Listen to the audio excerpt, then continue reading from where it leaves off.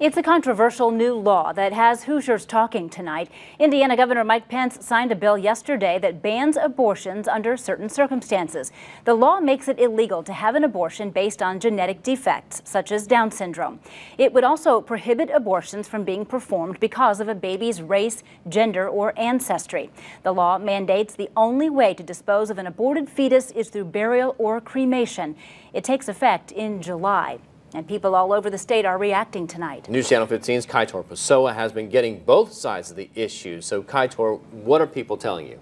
Governor Pence is saying that he signed the bill because it affirms the value of human life, but opponents are saying it goes too far in telling women what they can and cannot do. Just hours before his deadline, Indiana Governor Mike Pence took his state into a land of few. Indiana is now the second state to ban abortions because of fetal genetic abnormalities such as Down syndrome. He says he's affirming the value of human life. Planned Parenthood of Indiana and Kentucky disagrees with the approach. We plan to sue.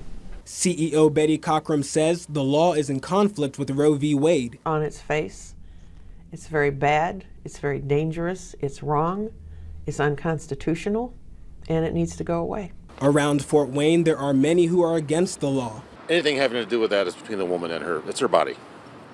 You know, we don't have the right to tell people what to do with their bodies. She's the one who's going to have to be raising that child, spending the time and the money and the effort to make sure that he or she gets the best care.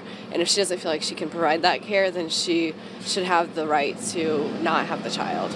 There are also plenty who are for it. I support the law. I'm very pro life. I'm Catholic. I'm heading to Good Friday service right now. There are a lot of people that would be good parents that don't have the opportunity to be parents, and I think that they should reach out to those people and see if they want to adopt the child. Imagine the, the proverbial slippery slope.